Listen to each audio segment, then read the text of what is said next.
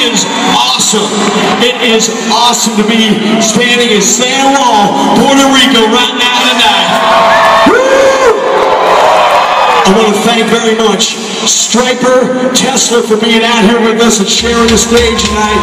And we especially want to thank you all for being here tonight. We're going to put on a hell of a show. Are we ready to party?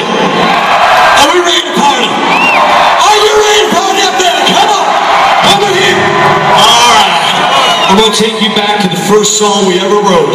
This is called Look What the Cat